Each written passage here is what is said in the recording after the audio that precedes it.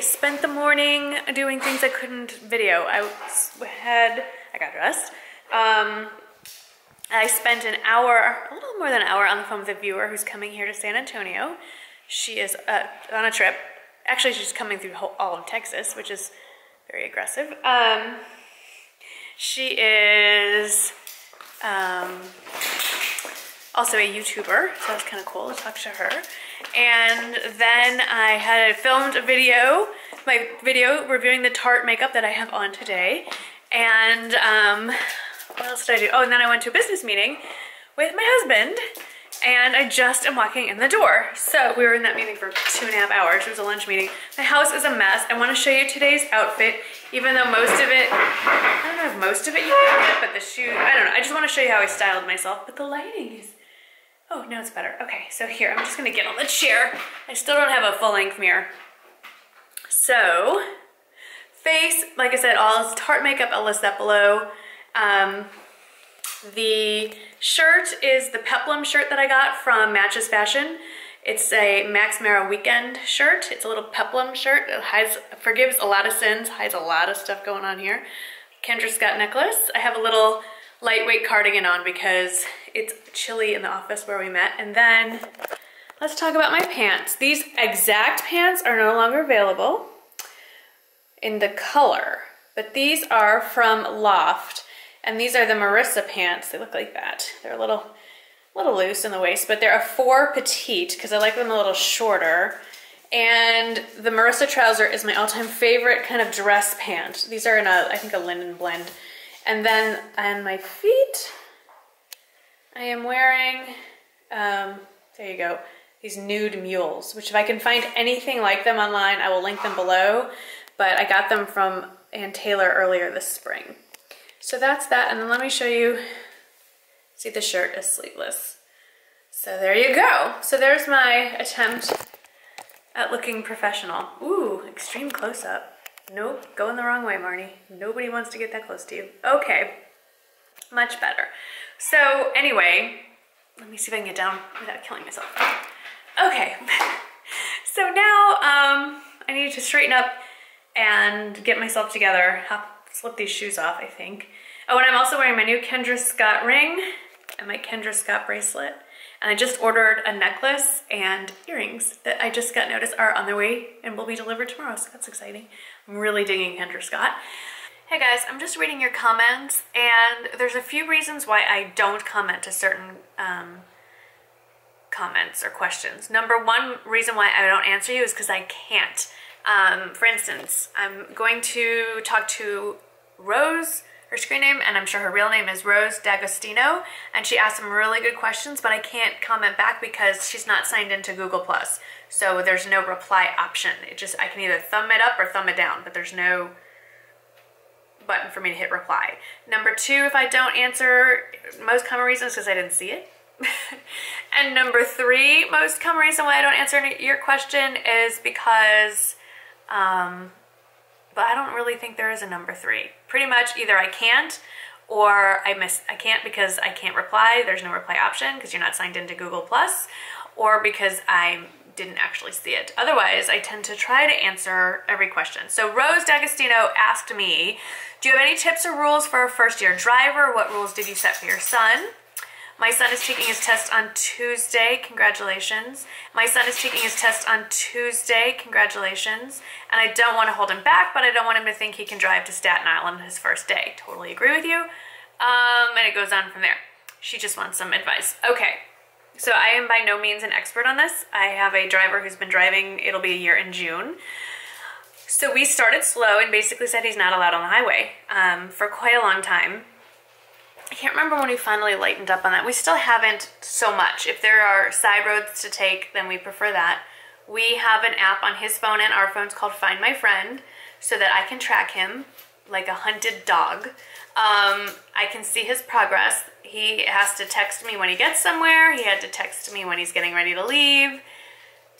Call me an overbearing, overprotective mother, but it's terrifying in the beginning. Um, where I am in Texas, at least in San Antonio, there's a curfew, a city curfew at 11 o'clock every day year round. He has to be home by 11. So that's been great because he can't argue with me. You know, he'll say, can I stay out later? And I'll say, ask SAPD what they think. They're gonna say no. So um, that's helped. As each month progresses, you get a little more comfortable and you will open up as where you think they can drive. Um, when Jake first started highway driving, I would insist that he had someone else in the car with him. I know some people would prefer that they don't have someone else in the car. I wanted Jake to have someone, another pair of eyes, basically. Also, in Texas, the rule is when you're under 17, you, you can only have um, one other passenger in the car who is not related to you. So like if you have 10 siblings, you can have all 10 siblings in the car, but you can only have one friend. So um, he's limited to base, I mean, he's limited to one one other kid in the car and they're not allowed to have you know the phone out that is a city that's a state law um, I insisted that I didn't want him playing the radio I can't enforce that I mean I'm not in the car with him but you know you just set some rules and you you know I would say start very strict and then lighten up it's easier to lighten up but it's hard to go back to strict so once you you know open that gate it's like once you let the feathers out of the pillow, you can't put the feathers back in. It's that kind of thing. Um, so start strict. And look, if they don't like it, driving's a privilege, not a right. Take away the car, take away the license. It's We've done it. We've done it. He just got his car back this week. We're doing it day by day. So that's, that's my recommendation. And it does get easier and it does get less frightening, I promise. It's just one of those things over time everybody gets used to. Um, that's it. That's my advice. That and um, some deep calming breaths, some meditation, perhaps a little alcohol. No, I'm just kidding.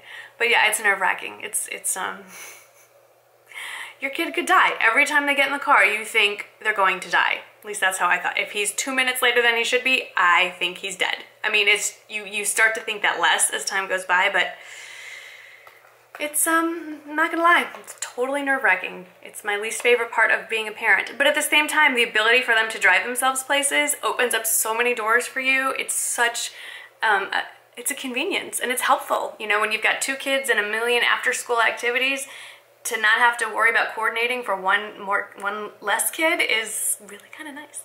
So anyway, I hope Rose that that answered your question and I hope that answers your questions in general as to why sometimes I don't answer you.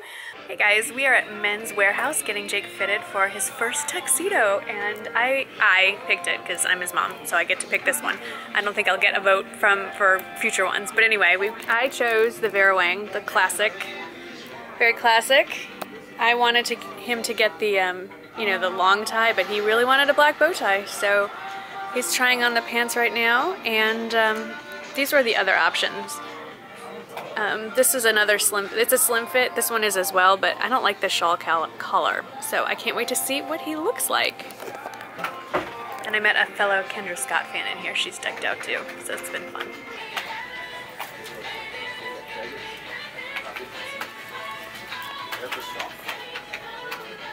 Then I can show dad also.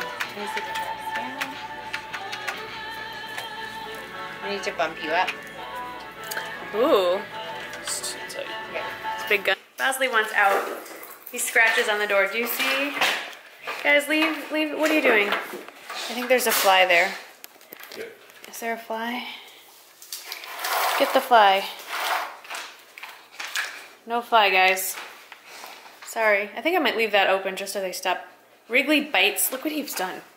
We, we just got these. Look at what he's done. He bites. He's such a bad boy. Not you. You're a good boy. Bosley, you want out? Okay. Bosley scratches the door. We need new moldings. Hey, there's no bug there. Go outside. Go. You scratched. This is a game we play. He scratches and then he just stands there. Go outside.